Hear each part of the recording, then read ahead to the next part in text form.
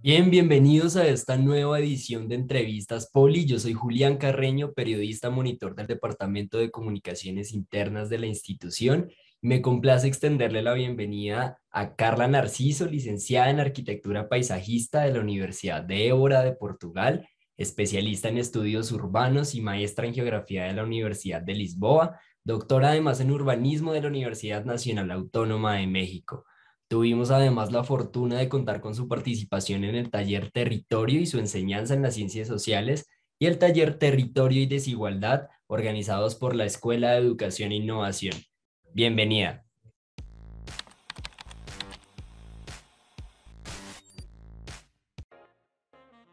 Bien, yo llevo seis años ¿no? ya en, la UNAM, en la Universidad Nacional Autónoma de, de México. Uh, yo soy investigadora en el Centro de Investigaciones en Arquitectura, Urbanismo y Paisaje um, y doy clases a la licenciatura de Arquitectura de Paisaje, de Urbanismo y también en Arquitectura de algún momento optativas. También doy clases en la Maestría de Urbanismo y la Maestría de Arquitectura y también el doctorado de, de ambas de disciplinas, tanto de Arquitectura y Urbanismo. Y también ya tuve la posibilidad de dar cursos de formación docente en varios estados del, del país, como en Tijuana, Chihuahua en el caso. Um, Ciudad Juárez, perdóname, Ciudad Juárez, perdóname, en Chihuahua, Tijuana, Baja California, también estuve en Guerrero. Entonces, bien. Bien, creo que es importante porque por los procesos sociales que se establecen, las relaciones que se configuran a partir también de las experiencias desde otras latitudes geográficas. Entonces creo que es, es muy importante, ¿no? Lo que decía Wallenstein de abrir las ciencias sociales, creo que también pasa por esa internacionalización de conocer y reconocer, ¿no? En otros ámbitos procesos que también se reproducen e, en el ámbito en el cual nosotros desarrollamos y creo que en el día del taller creo que eso quedó también ah, muy claro, ¿no? Porque muchas de experiencias que yo platicaba del caso de México era compartido con los profesores en términos de lo que pasa en los distintos territorios en Colombia. Entonces yo creo que es realmente es muy importante conocer, ¿no? Conocer también para reconocer. Y, en términos desde el ámbito de la teoría, y de cómo eh, lo podemos leer eh, los territorios, ¿no? A la luz de esa misma teoría, cómo se va configurando o cómo también la misma teoría se establece a partir de determinada hegemonía y que nosotros tenemos que refutar y construirla desde lo situado. Entonces me parece muy importante. Sí, claro, claro. Bien, fueron dos, dos, experiencias distintas, ¿no? La primera de ellas fue con los alumnos, con los profesores, ¿no? De la licenciatura y la segunda ya fue más abierta a, a un público más, más amplio. En la primera eh, vimos más concretamente el concepto de espacio, uh, el espacio entendido desde las formaciones sociales, y la importancia de reconocer el espacio como una construcción social. Y en el segundo caso nos detuvimos un poco más en el concepto de, territorio, aun cuando lo, mm, no, no, lo analizamos también desde la construcción social ¿no? y de las relaciones de poder que configuran y establecen los territorios. Sí, muy importante. Yo creo que en la licenciatura la categoría de territorio es determinante y debería ser transversal. Y eso pensando que las ciencias sociales no se dedican al estudio de las relaciones sociales. O sea, las relaciones no se construyen en abstracto, no, las relaciones se construyen en el territorio, ¿no? Entonces, esa configuración territorial es determinante porque es la propia configuración y las relaciones que se establecen en esa configuración que determinan las relaciones sociales. Entonces, yo creo que debería ser transversal, ¿no? Lo, concepto de, territorio, pero también un concepto de territorio que sea crítico, ¿no? O sea, determinado por la, la misma ensamblaje territorial desde los procesos situados que se, que, se configuran, ¿no? Y no una concepción de territorio que se enmarque desde la hegemonía occidental, sino construirlo desde de la base de cómo se establece, ¿no? En, términos de relaciones y que es muy diferencial, ¿no? Yo supongo que lo que pase en la región norte de, de Colombia sea muy diferente del, del sur, entonces hay que reconocer esas diferencias territoriales. Yo creo que eso es un problema conceptual, ¿no? Epistemológico, de cómo reconocemos y entendemos una u otra configuración. Hay autores, por ejemplo, el caso de Milton Santos, un geógrafo brasileño, para ello territorio y espacio son sinónimos, ello no hace una diferenciación y creo que a, partir de su base de explicación, me parece que tiene todo el sentido, porque a dada altura se puede entender como, como lo mismo. Pero yo creo que la diferencia sería más bien en términos epistemológicos, Julián. ¿no? Lo que se tendría que entender y entender menos la construcción conceptual en términos de espacio-tiempo creo que eso es fundamental, desde dónde vienen, ¿no? o sea, cómo, cómo se han construido, a, cómo se están aplicando, ¿no? Y a qué están haciendo referencia. Creo que eso es importante y a lo mejor ahí tendríamos un, otro término que creo que va muy de la mano con la cuestión del territorio, del espacio, que tiene que ver con la escala geográfica. Creo que es muy importante. ¿No? Entendernos de, em, de, qué procesos estamos hablando, de qué escalas estamos hablando y entonces ya a partir de ahí poder determinar, ¿no? Qué, base conceptual, ¿no? Sería la más, más óptima, ¿no? En términos de ese uso, uso en términos de entender de qué estoy hablando. Y de qué procesos, ¿no? En qué condiciones estoy hablando.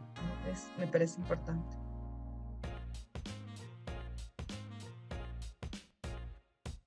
Sí, es, es, muy importante, Julián. Y eso tiene que ver sobre todo con políticas públicas, ¿no? O sea, no puedes pensar en políticas únicamente a nivel nacional, ¿no? Tienes que pensar en políticas en términos regionales, ¿no? De regiones o de territorios, ¿no? Ah, porque efectivamente los, los, procesos son muy distintos, ¿no?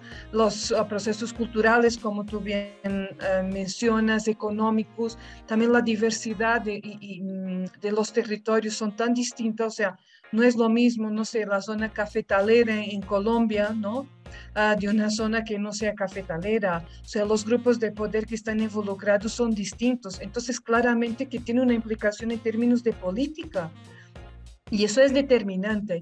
Si tú te das cuenta, cuando utilizamos muchas veces las bases de datos, las oficiales, los territorios son estáticos, ¿no? Porque eso determina una configuración política y de política, ¿no? Mucho más sencilla, ¿no? Porque los territorios se establecen como contenedores. Y ese es un grave problema, porque los territorios son dinámicos, ¿no? Y, y obedecen también a estructuras, ¿no? A estructuras y a redes de poder diferenciadas. Entonces, si tú no, no, no, no estableces esa diferenciación, estás homogeneizando los sujetos y, en sus territorios. Y eso es un problema gravísimo. ¿no? Porque una política puede aplicar para, no sé, para la zona norte, pero no aplica para la zona sur, por esa misma diferenciación territorial.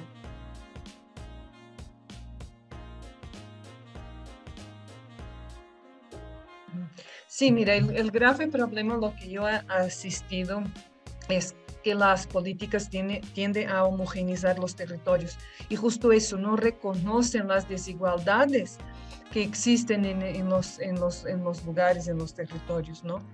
Y eso es un, un, problema importante porque no se conoce, no se reconoce mejor esa, esa, esa diversidad, ¿no? Y se establecen procesos homogéneos eso que hace es ocultar las desigualdades, pero que muchas veces, ¿no? Lo que se ha podido observar es que oculta una mayor desigualdad, ¿sabes? y son desigualdades impuestas por, por una estructura de capital, ¿no? hegemónico. Y entonces cuando tú estableces un estudio de, un determinado territorio y lo estableces de manera homogénea, claramente que eso no va, no va, no va a aparecer, ¿no? Porque parece ser que los sujetos son todos iguales. Entonces, lo que está ocultando, y eso eh, volvemos al mismo que te decía hace rato, Julián, tenemos un problema aquí epistemológico fuerte, ¿no? Que tiene que ver justo cómo utilizamos y qué, qué, utilizamos en términos conceptual de definición de territorio, ¿no? Porque si, lo, si no lo concebimos como una construcción social, entonces claramente que nunca vamos a ver esas diferencias ¿no? Y lo que se sigue perpetuando es una mayor desigualdad social.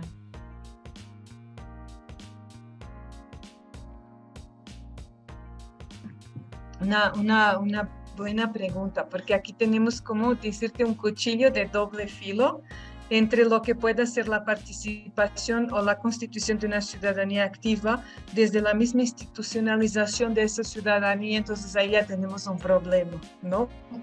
Ah, porque ya sabemos que cuando se institucionalizan las cosas, los procesos, pues ya se está controlando a los agentes y las personas, esos agentes de posible cambio, ¿no? Pero por otra parte, también tenemos e, ejemplos, ¿no? De eh, estructuras. A mí no me gusta mucho la palabra ciudadanía, me parece que es una palabra ya muy condicionada ¿no? Pero de movimientos sociales que sí han tenido éxito en salvaguardar sus territorios, sus recursos, ¿no? Entonces creo que ahí lo tiende a partir es de la propia, de, los movimientos, ¿sabes? De las personas, de la gente, pero que no se configuren desde una base institucional, porque entonces sí ya, ya, hay como ah, un lineamiento, ¿sabes? De, de que seguir. Yo creo que tiene que nacer desde la, desde la tierra, ¿sabes? Desde la emergencia de la gente eh, que vive esos, esos territorios, ¿no? Y no algo, a veces como algo que, que viene como impuestos o que ya está más o menos controlado, ¿sabes? por ejemplo, el caso de los zapatistas en México me parece que es un tema muy interesante, ¿no? y que ellos tienen una organización muy particular y que se alejaron de todo, ¿no? pero también después tenemos otros movimientos que pues ya están todos corporativizados, ¿no? En términos de partidos políticos. Entonces ahí es donde tenemos que tener cuidado en cómo construimos realmente los procesos que sean horizontales, pero que a lo mejor no se establece desde una base que ya está institucional, ¿no? Creo que eso es muy importante. Y, y, ahí volver a lo mismo, tener mucho cuidado, incluso con los propios conceptos y desde donde lo estamos mirando, ¿no? Como es el caso de la ciudadanía, ¿no? Porque viene desde los procesos civilizatorios, ¿no? De lo que implica ser ciudadano en las civitas, ¿no? Bajo un sistema muy organizado, muy estructurado, ¿no? Muchísimas, muchísimas gracias, ¿no? Por la invitación y esta posibilidad de estar con ustedes. Eh, bien, está la página de mi, centro, ¿no? De mi centro de investigaciones, donde está pues base del trabajo y de las publicaciones. También en academia se puede encontrar algunos, algunos trabajos y, justo acaba de, salir, publicar un libro esta, la semana pasada que quizás puede ser de interés teórico metodológico que es sobre movilidad residencial y cotidiana, ¿no? Sujetos, prácticas y territorios, ¿no? Entonces quizás pueda ser de interés para ustedes, sobre todo la aproximación teórico-metodológica, y si es un engranaje en términos de ciencias sociales, se los puedo compartir con mucho, mucho gusto. Claro que sí, estaría perfecto para también poder eh, extender de alguna forma eh, esa parte del conocimiento tanto a estudiantes como docentes que, que estén interesados. Así que de verdad nuevamente muchas gracias por contribuir a la construcción del aprendizaje y el conocimiento sumándote a una nueva emisión de, de entrevistas Poli. Y gracias a las personas que participaron en esta nueva entrega nos encontraremos en otra edición muy pronto. Politécnico Gran Colombiano